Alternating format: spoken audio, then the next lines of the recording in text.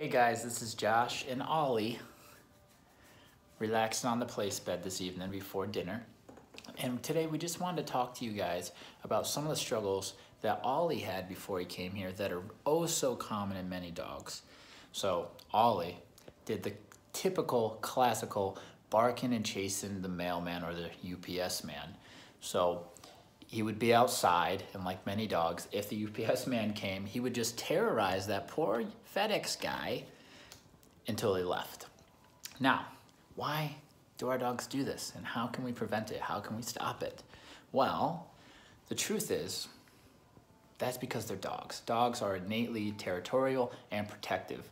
And most dogs, if you don't say that you disagree with that behavior, they're gonna take it upon themselves to do so. And here's the kicker.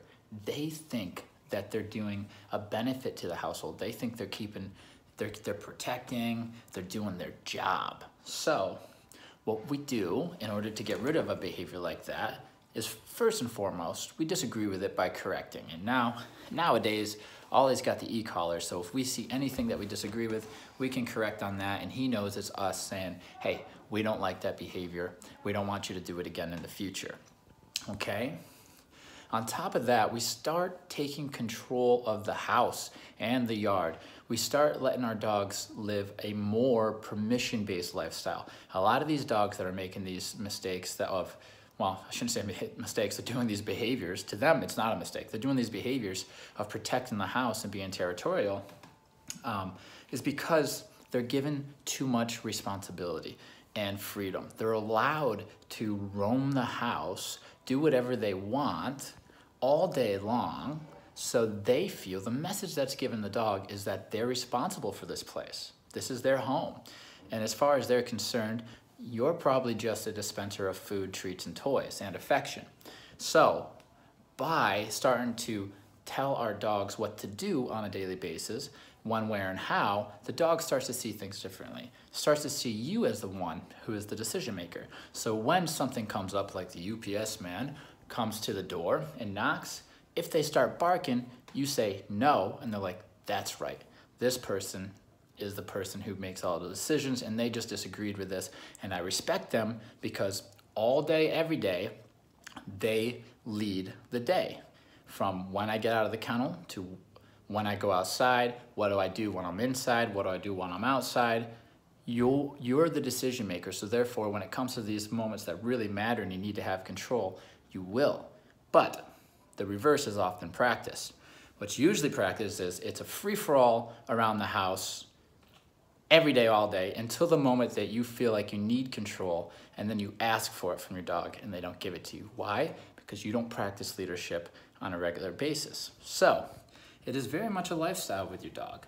It's a big responsibility to have a dog. You need to take that position of decision maker, of leader. Command training helps a ton because then you have a common communication where your dog and you both understand the rules of the commands. So instead of only correcting for bad behavior, you can now correct and then direct.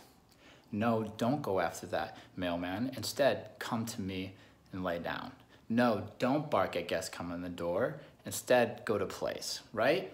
So it's clear we get what I want, what we want.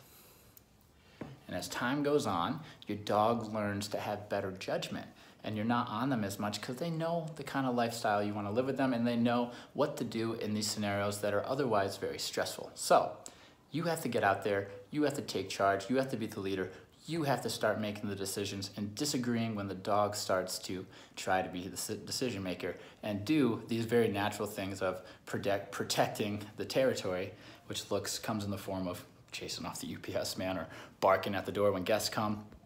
Saying no and correcting, will clear that up, whether your dog's been doing it for a few weeks or a few years, right? And Ollie now is doing fantastic. And he's going home tomorrow. Tomorrow's the big day, buddy. Thanks for watching, guys. Tomorrow's Ollie's last day here. He's gonna be having a fantastic go home. I hope you guys followed his progress. He's gonna go and live a more structured but peaceful and happy life.